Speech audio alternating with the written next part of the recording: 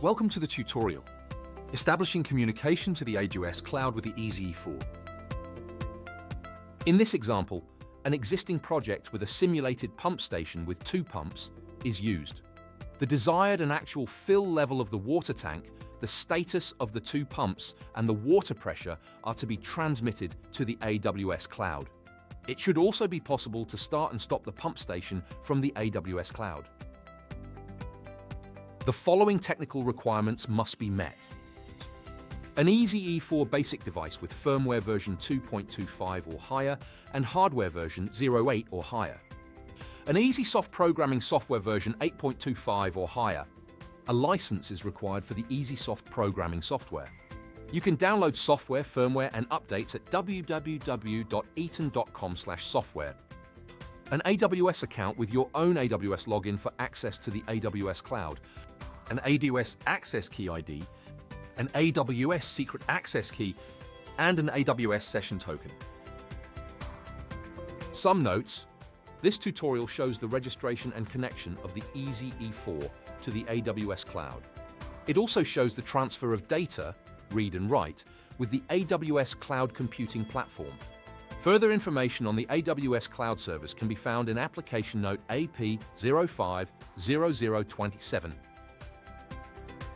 From hardware version 08, the EasyE4 can communicate with the AWS Cloud Computing Platform in order to make individual operands available there, and also to write there.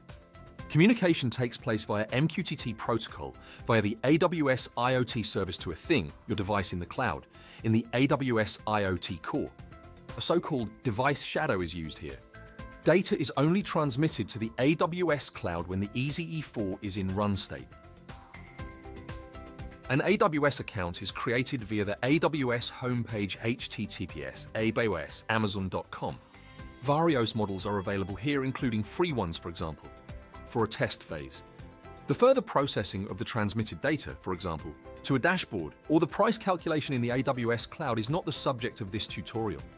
Please contact an authorized AWS partner in this regard. For details on the structure of the simulated pump station and its EasyE4 program, please refer to the video tutorial EVTA01 015EN handling the data logger with the EasyE4.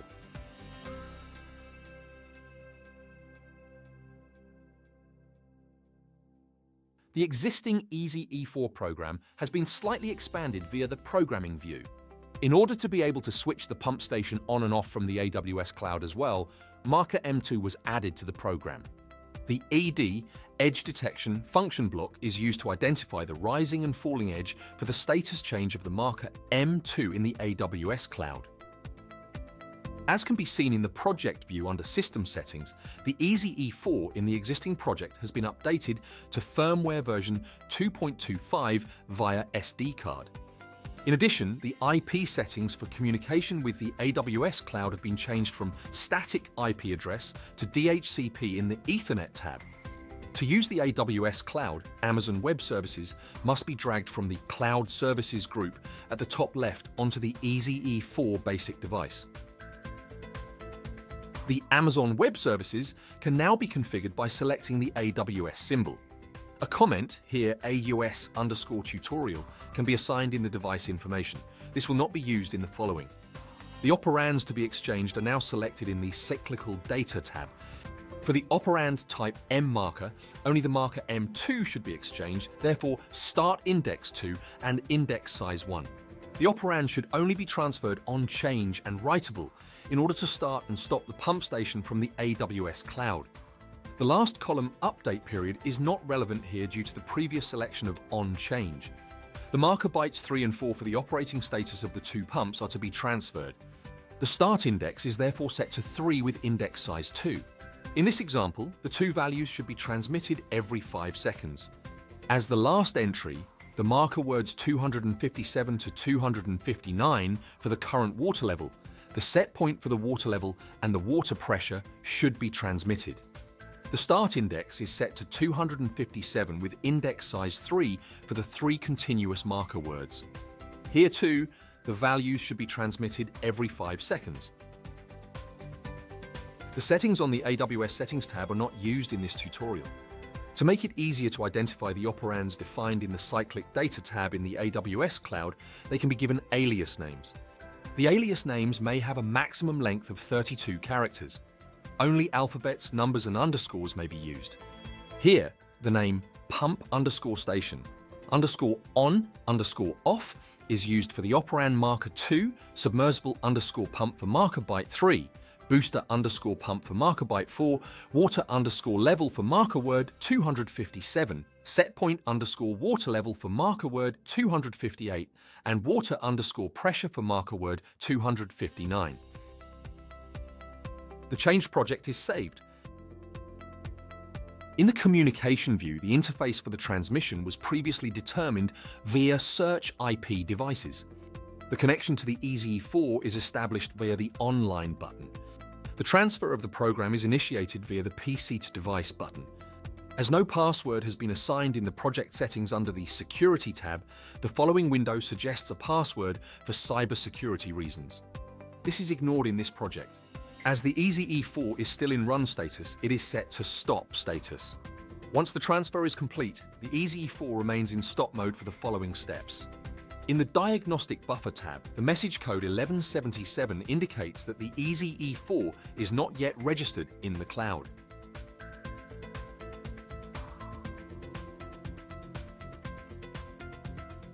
The EasyE4 has been set to run status once again to demonstrate the following process.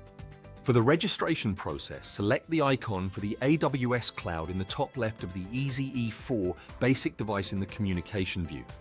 The IoT Access tab is used to select the Register Thing button. The registration process can only be carried out when the EasyE4 is in stop status.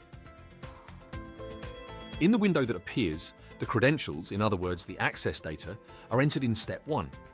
You will find the access data in your AWS account for Mac OS or Linux and as used here, for Windows. An Eaton AWS account is shown here as an example. From this AWS account, copy the data for the AWS IoT region on which server is the cloud located, the AWS Access Key ID, the AWS Secret Access Key, and the AWS Session Token and enter them in the corresponding lines. The entries are confirmed with Next. In step 2, Certificate Signing Request, the specific freely editable customer data is stored. The general name for the AWS IoT certificate is defined under common name, in this case AWS underscore tutorial underscore cloud. The country or region is entered, in this case Germany. Under organization, for example, the company is entered, here Eaton Industries GmbH. The business unit, in this case training underscore center, is also entered. Finally, the name of the policy to be created and assigned to the certificate, here EasyE4 IoT, is specified and confirmed with Next. In step 3, add certificate to the thing, the name of the new thing is defined, here AWS underscore EasyE4 underscore tutorial. Alternatively, an existing thing in the AWS cloud can also be selected, for example, for an exchange. With Finish, the exchange with the AWS cloud takes place and the registration status changes to registered.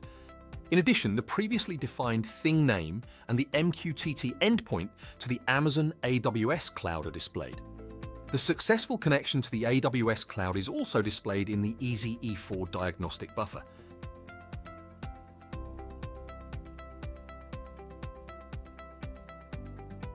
The AWS Cloud Console can now be accessed in the created AWS account.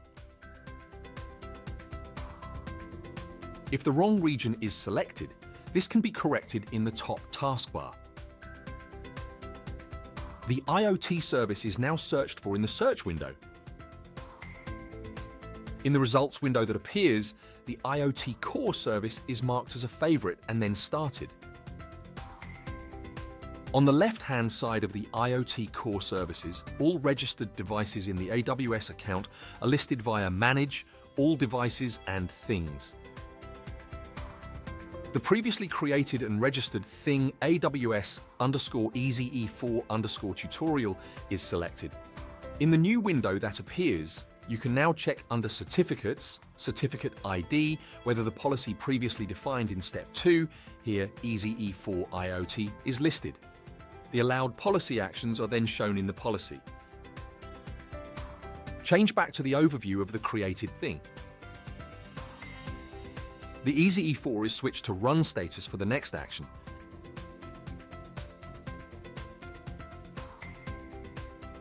Information that there are new activities now appears in the Activity tab of the thing. Each shadow update contains a timestamp and whether the telegram was accepted. When the simulated pump station is started, the previously defined alias names are updated, in this case every 5 seconds. It is not possible to access the data in the Activity view. The listed data has already expired by the time it appears. To always see the last transmitted values, switch to the Device Shadows tab and select Classic Shadow. The firmware version of the EZ4 and the serial number are also shown here. In addition, the connected data point shows whether a connection to the created thing is available.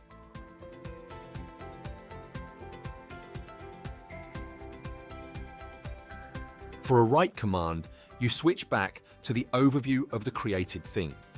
Under the Activity tab, select the MQTT Test Client button on the right. A new tab opens with the MQTT Test Client.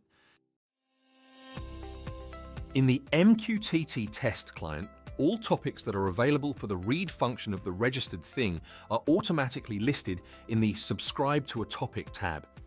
In this tutorial, the focus is on the topics rejected, Telegram rejected, and accepted, Telegram accepted, so the other topics are deleted for the purpose of better overview. A write command to the connected device can be triggered in the Publish to a Topic tab. In this case, the pump station is to be switched on and off via the AWS cloud. The shadow update topic is selected for this. A JSON compliant message must be edited here. The message prepared here consists of state, desired, the desired data point, here, pump station on-off, and the desired value. Here, 1 stands for switching on the pump station and 0 for switching off the pump station. The correct syntax of the JSON-compliant message can be checked using freely available tools on the internet. The result from the JSON formatter then overwrites the prepared message. Some warnings. In this example program, there is no check as to whether switching the pump station on and off via the AWS cloud or via local operation has higher priority. Furthermore, this is not a field bus that automatically resets the status in the event of an interruption. The last status is retained here until a new command is sent. When the Publish button is pressed, the message is sent to the connected device. In the lower area of the window visible here, the status change can be seen under Accepted, indicating that the pump station has been switched on or off. A note on entering values. In the AWS cloud, for example, no comma numbers are accepted. The error message invalid JSON then appears here. If the specified value is JSON compliant but outside the permitted value range, EasyE4 retains the last correct value in this case. The invalid value is ignored.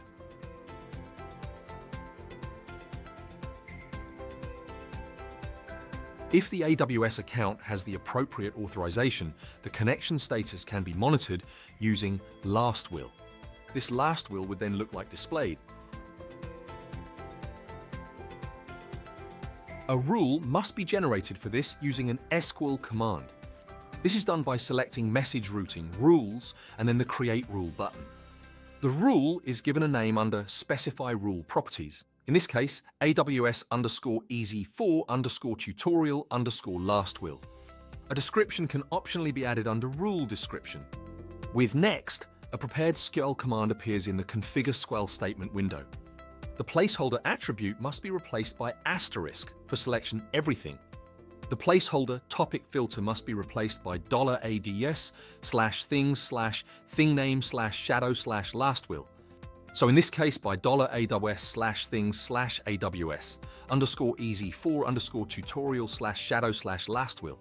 Only when the topic filter is framed with an apostrophe is it displayed in blue and accepted. The filter function with where condition is not required in this case. Click Next to open the Attach Rule Actions window. Republish to AWS IoT topic is selected here under Action 1. Under Topic, information is provided on the shadow to which an update should be made. The relevant topic with the used thing name and shadow update is displayed. To republish the topic used, it is important that two leading dollar characters are used here, as shown in red in the AWS manual. Use the Create New Role button to assign the desired name in the window that appears. If you do not have authorization to create rules, the following message appears. In this case, please contact your AWS administrator so that you can obtain the necessary authorization. With existing authorization, the rule creation AWS underscore tutorial for the last will was carried out here. For demonstration purposes, switch to the device shadow tab of the thing. The connected data point is set to true here. This is followed by a switch to the activity tab. If the connection between the AWS cloud and the EasyE4 is lost, AWS recognizes after approximately 1.5 minutes that the thing is no longer connected and executes the last will. The message disconnected then appears in the Activity tab and the rule created leads to the shadow updated. The connected data point is now set to false in the Device Shadow tab. The connected data point could be further processed on a dashboard, for example. Thank you for your attention.